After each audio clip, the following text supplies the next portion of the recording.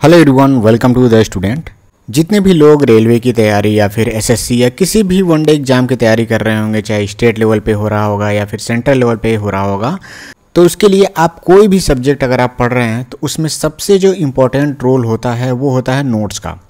अब क्या होता कि कई लोग सोचते हैं कि मुझे कहीं से नोट्स मिल जाए और मैं किसी और का नोट्स पढ़ के सिलेक्शन ले लूँ, या फिर किसी सेलेक्टेड स्टूडेंट का मैं नोट्स पा जाऊँ और मैं उसको पढ़ करके सिलेक्शन ले लूँ।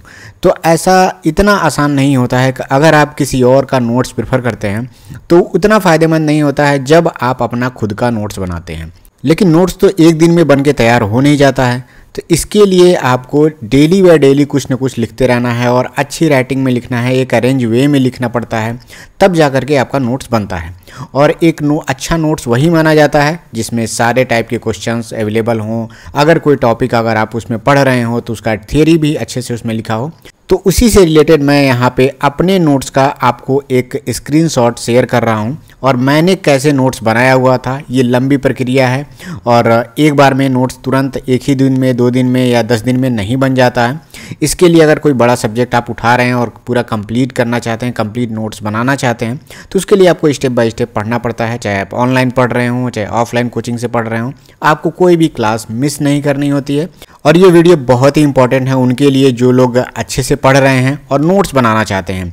आज ये वीडियो अगर आप कंप्लीट देख लेंगे तो मैथमेटिक्स का नोट्स कैसे बनता है, एक बहुत अच्छा नोट्स मैंने यहाँ पे बनाया हुआ है, और आप इसमें समझ जाएँगे कि कैसे हमें नोट्स बनाना चाहिए, और मेरा नोट्स कैसे छोटा से छोटा बनेगा, उसके बारे में भी मैं इसमें बताऊँगा, और आप देखेंगे मेरा नोट्स कितना अच्छा है, एक ही लैंग्वेज में मैंने यहाँ पर लिखा हुआ है, हिंदी में ये पूरा बना हुआ नोट्स है मैथमेटिक्स का। इसी तरह से सेम जो लोग इंग्लिश में बनाना चाहते हैं, वो लोग इंग्लिश प्रेफर कर सकते हैं। इसमें मैंने हर एक टाइप के क्वेश्चन को इसमें इंक्लूड किया हुआ है और मैं बताऊँगा कि कैसे फ्यूचर में अलग से अगर मान लीजिए कोई और टाइप बाद में आपको देखने को मिलता है तो उसके लिए कि क्या करना चाहिए, हमें अपने जो चैप्टर का आप नोट्स बनाए हैं, उसमें क्या हमें करना चाहिए जिससे बाद में हम क्वेश्चन को उसमें ऐड कर लें। तो ये सारी चीज़ें मैं इसमें डिस्कस करूँगा। आप लोग वीडियो को लास्ट तक ज़रूर देखिएगा। और जो लोग चैनल पर नए हैं प्लीज़ चैनल पर आप लोग बने रहिए।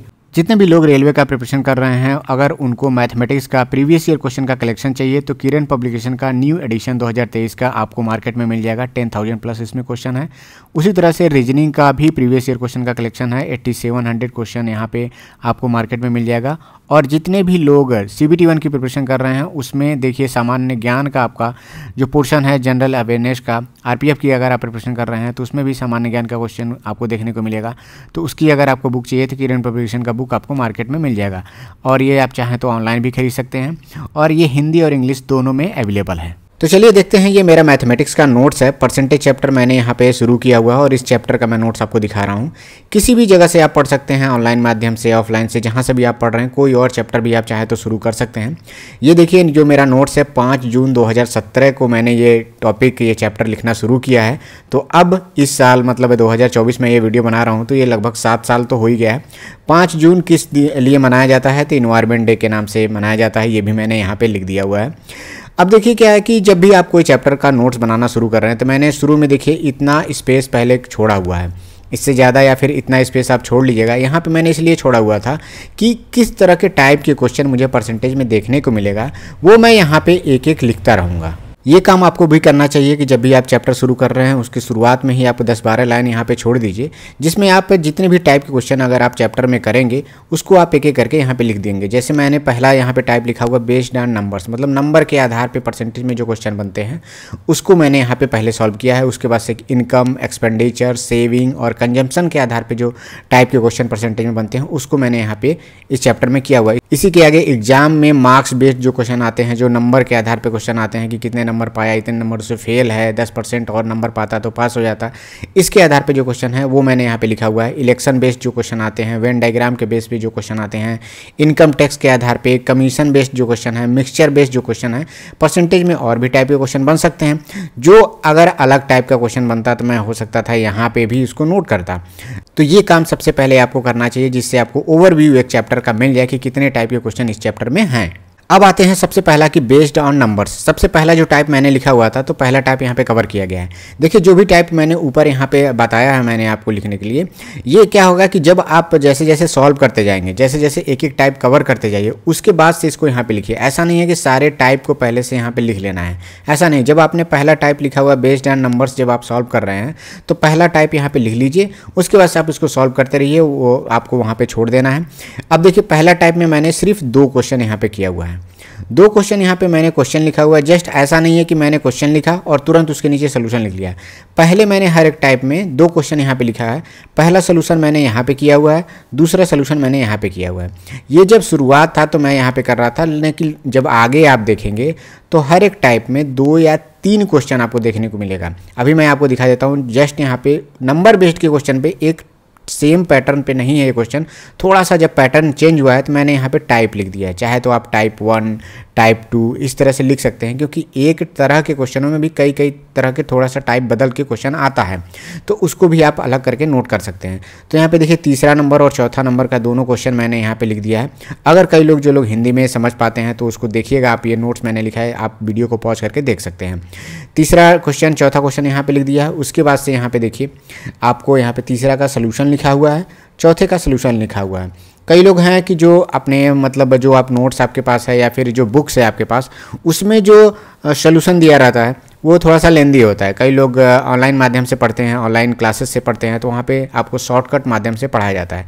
तो शॉर्टकट भी आप यूज़ करिए, लेकिन कोशिश करिए कि अगर आपके पास जो बेसिक कॉन्सेप्ट है जो बेस जो रहता है, उसको एक बार ज़रूर सॉल्व करिए। क्योंकि अगर आप बेसिक स्ट्रांग हैं, जो भी आप ट्रिक यूज़ करते हैं क्वेश्चन को सॉल्व करने में ट्रिक अगर आपने नोट्स में भी लिखा हुआ है तो ट्रिक अगर एग्ज़ाम में आप देखेंगे थोड़ा सा भी चेंज हो जाता है अगर क्वेश्चन का टाइप तो बदल जाता है। मतलब आप वो ट्रिक उसमें नहीं लगेगा और वो क्वेश्चन आपका गलत हो जाता है। तो इसीलिए मैं कहता हूँ, भले ही जो बेसिक वाला कॉन्सेप्ट लेंदी होता है तो लेंदी को एक बार समझ के ज़रूर रखा करिए। कई बार मेरे साथ ऐसा होता था कि जब मैं ट्रिक भूल जाता था तो लेंदी से ही सॉल्व करता था। अगर आपके पास समय है तो लेंदी से भी आपको क्वेश्चन सॉल्व हो जाएँगे और जो समय आपने बचाया हुआ है, उसका आप वहाँ पर यूटिलाइज कर पाएँगे। तो तीसरा और चौथा यहाँ पर लिखा है, अब देखिए यहाँ पर टाइप बदला हुआ है और यहाँ पर एक चीज़ आपको देखने को मिलेगा। पाँचवा क्वेश्चन यहाँ पर देखिए, छठा और सातवां और आठवां। यहाँ पर मैंने इस टाइप में चार क्वेश्चन मैंने यहाँ पर लिखा हुआ है। सिर्फ़ मैंने पाँचवा, छठवां और सातवां क्वेश्चन ही मैंने सॉल्व किया है। आपको मैं दिखा देता हूँ। पाँचवा यहाँ पे मैंने सॉल्व किया हुआ है और सिक्स नंबर का सेवन नंबर का। यहाँ पे मैंने क्वेश्चन सॉल्व किया हुआ है। अब सेवन्थ नंबर में देखिए, दो तरह के इसको सॉल्व कर सकते थे। देखिए, पहला टाइप इस तरह से उससे सॉल्व किया गया है। अथवा करके मैंने लिखा हुआ कि या चाहे तो मैं इस तरह से भी इस क्वेश्चन को सॉल्व कर सकता हूँ। यहाँ पे दोनों तरह से सॉल्व सोल्यूशन मैंने लिखा हुआ है। आठवें क्वेश्चन का मैंने सोल्यूशन नहीं लिखा हुआ है।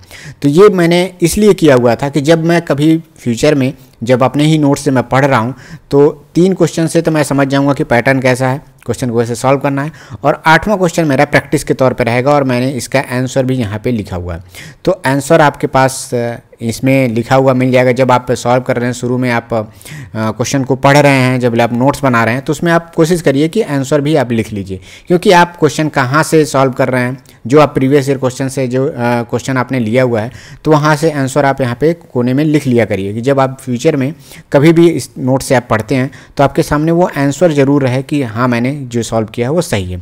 यहाँ पे देखिए नेक्स्ट टाइप हो जाता है इनकम एक्सपेंडिचर सेविंग बेस्ड पे जो क्वेश्चन है। यहाँ पर देखिए नाइन टेंथ इलेवन और ट्वेल्थ यहाँ पे चार क्वेश्चन मैंने यहाँ पे लिखा हुआ है। अब मैं यहाँ पे सोल्यूशन के तौर पे आता हूँ। तो सोल्यूशन नाइन्थ नंबर का सोल्यूशन मैंने किया है, देखिए, एक टाइप के इस तरह से सॉल्व किया मैंने। अथवा करके दूसरे तरीके से भी सॉल्व किया है। जितने भी तरीके अगर मुझे एक से दो टाइप तरह के अगर मुझे सोल्यूशन आते हैं तो मैं इसको सॉल्व कर लिया हूँ। अब देखिए, होता क्या है कि कई तरह कभी कभी क्वेश्चन कोई भी है, अगर इस क्वेश्चन को दो तरीके से मैंने सॉल्व किया है तो कोई ज़रूरी नहीं है यहाँ पे डिजिट अच्छी खासी, यहाँ पे परसेंटेज में सरल सरल डिजिट दिया हुआ है। तो हो सकता है कि पहला जो मेथड है, वो सिंपल डिजिट के लिए अच्छा हो। दूसरा जो मेथड है वो किसी कॉम्प्लिकेटेड परसेंटेज वैल्यू के लिए अच्छा हो। तो इसीलिए दोनों टाइप के जो सोल्यूशन हैं, उसको मैंने यहाँ पे लिख करके रखा और ये काम आपको करना चाहिए। लेकिन कभी कभी क्या होता है, जब आप ऑनलाइन माध्यम से पढ़ते हैं और कोई टीचर किसी और तरीके से उसे सॉल्व करते हैं, कोई टीचर किसी और तरीके से सॉल्व करते हैं तो जब आप नोट्स बना रहे हैं तो आप कोशिश करिए कि दोनों तरह के सोल्यूशन आप एक साथ लिख लें। जो आपको बेहतर लगे, वो आप उससे एग्ज़ाम में सॉल्व करिए। देखिए, दसवां क्वेश्चन भी दसवां नंबर का इसको सॉल्व किया, ग्यारहवें नंबर का क्वेश्चन उसको मैंने सॉल्व नहीं किया है तो ग्यारहवें नंबर का देखिए उसका सोल्यूशन आंसर मैंने यहाँ पर लिखा हुआ है। तो यही काम आपको करना है। जब आप नोट्स बना रहे हैं, देखिए कितना अच्छा से मैंने नोट्स बनाया एक चीज़ और ध्यान देना है आपको कि देखिए, मैंने एक ही पेज में दो लाइन बना दी है। यहाँ पे दो लाइन बना दिया है। ऐसा इसलिए मैंने किया है कि जब भी मैं अगर एक ही पूरे पेज में मैं क्वेश्चन पूरा लिखता हूँ, मैंने मतलब तेरह नंबर का क्वेश्चन यहाँ से लिखना शुरू किया, एक पूरी लाइन लिखी, फिर दूसरा लाइन लिखा और तीसरे लाइन के यहाँ तक ये क्वेश्चन समाप्त हो गया जो इसका लैंग्वेज है। फिर जब मैं इसको सॉल्व करने चलता हूँ तो चलिए मैं बीच से इसे सॉल्व करता हूँ तो इतने एरिया में ये क्वेश्चन हो जा रहा है। चलिए, दूसरा क्वेश्चन यहाँ से मैं शुरू कर रहा हूँ। तो अभी देखिए क्या है कि जब पूरे पेज में आप सॉल्व कर रहे हैं तो इतने पूरे एरिया में एक क्वेश्चन सॉल्व हो रहा है। लेकिन यहाँ पर आप देखिए, एक क्वेश्चन यहाँ भी सॉल्व हुआ है और एक क्वेश्चन यहाँ भी सॉल्व हुआ है। देखिए, यहाँ पे मैंने क्वेश्चन नीचे लिखा हुआ है, लेकिन अगर ये सोल्यूशन यहाँ पे आता तो इतने एरिया में एक क्वेश्चन सॉल्व हो जाता और इतने एरिया में एक क्वेश्चन और सॉल्व हो जाता। तो इससे आपको फ़ायदा होगा कि जो भी आप चैप्टर पढ़ने जा रहे हैं, उसका नोट्स बना रहे हैं तो परसेंटेज में मुझे अगर नोट्स बनाने में अगर पंद्रह पेज लग रहे हैं तो आपको हो सकता है कि पच्चीस से तीस पेज आपको लगे सॉल्व करने में या फिर नोट्स बनाने में। तो जब नोट्स जितना बल्कि बनेगा तो जब आप उसे पढ़ने जाएँगे तो लगेगा कि ये चैप्टर बहुत लेंदी है या फिर इसको छोड़ते हैं, कुछ आसान चैप्टर पढ़ते हैं जिसमें कम नोट्स में बना हो। इसीलिए जब मेरा नोट्स पूरा तैयार हो गया, ये नोट्स तैयार करने में, पूरे चैप्टर्स को तैयार करने में लगभग मुझे दो, तीन से चार महीने तक लगे, क्योंकि हर एक चैप्टर को पढ़ना, फिर नोट्स बनाना, एग्ज़ाम देना या फिर बीच में टेस्ट सीरीज़ पे चले जाना, बीच में ये चीज़ें छूट जाती थी। और कभी कभी जो फ्यूचर में जो भी एग्ज़ाम होते थे तो हर एक चैप्टर के लास्ट में आपको क्या करना है? जैसे ये चैप्टर पूरा मैं लास्ट तक जाता हूँ। तो देखिए, यहाँ पे सबसे लास्ट पेज यहाँ पे है। तो अब क्या है कि मैंने जगह छोड़ के रखा हुआ है। यहाँ पे देखिए, ये ये एरिया भी जगह छोड़ के रखा हुआ है मैंने। अब जब चैप्टर कंप्लीट हो जाता था तो मैं कम से कम दो से तीन पन्ने छोड़ के रखता था। कभी कभी क्या होता था, जब आप टेस्ट सीरीज़ दे रहे हैं तो टेस्ट सीरीज़ में आपको बहुत अच्छा क्वेश्चन एक अलग तरह का परसेंटेज का देखने को मिल जाता है। कभी कभी एग्ज़ाम में भी आ जाते हैं। तो लगा कि ये मेरे नोट्स में नहीं है तो उसको आप अपने परसेंटेज के लास्ट में उसे इंपॉर्टेंट कर करके लिख सकते हैं। जैसे मान लीजिए मैंने एक्स्ट्रा करके यहाँ पे ये क्वेश्चन लिखा हुआ है तो ऐसे ही मैं हर एक चैप्टर में करता था, तीन पेज चार पेज मैं छोड़ के रखता था कि किसी भी एग्ज़ाम में मुझे एक्स्ट्रा क्वेश्चन या फिर अच्छा क्वेश्चन देखने को मिले तो मैं उसको नोट करूँगा। और इसी तरह से ये एक लंबी प्रक्रिया के तहत आपका नोट्स बहुत बेहतर बन जाता है। जो लोग इंग्लिश में पढ़ रहे हैं, वो इंग्लिश में अपना नोट्स बनाइए। दोनों लैंग्वेज में लिखने की ज़रूरत नहीं है, चीज़ों को आप छोटा से छोटा लिखिए और बहुत ज़्यादा डिस्क्रिप्शन पे जाने की ज़रूरत नहीं है।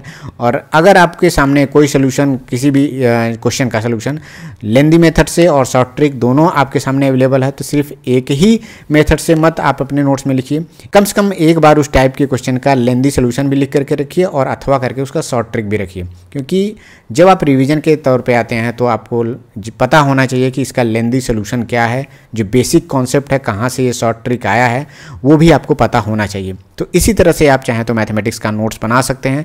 लेकिन ये मैंने आपको दिखाया है कि मेरा नोट्स किस तरह से था और ये सात साल पुराना है। मैं आपको करंट अफेयर का भी नोट्स अपना दिखा दूँगा। मैं कुछ स्क्रीनशॉट मैं उस समय का रखा हुआ हूँ कि साइंस को कैसे बेहतर तरीके से आपको नोट्स बनाना चाहिए, उसके लिए भी मैं अलग से वीडियो बना दूँगा। तो जो लोग चैनल पर नए हैं प्लीज़ आप लोग चैनल को सब्सक्राइब ज़रूर करा करिए, क्योंकि इतना मेहनत से मैं बना रहा हूँ अपने ड्यूटी के टाइम में भी, अपना समय निकाल करके आपके लिए जो ज़रूरी हो सकता है एग्ज़ाम के लिए जो मदद हो सकता है, मैं उस तरह की वीडियो सोचता हूँ ज़्यादातर बने तो आप लोग का सपोर्ट अगर बना रहेगा, इसी तरह से आप लोग अपना प्यार दिखाते रहेंगे, तभी मैं और वीडियो बना पाऊँगा। अगर वीडियो आपको अच्छा लगता है, कुछ इन्फॉर्मेशन आपको जानने को यहाँ से मिलती है तो आप वीडियो को लाइक ज़रूर करिए। Thank you all the best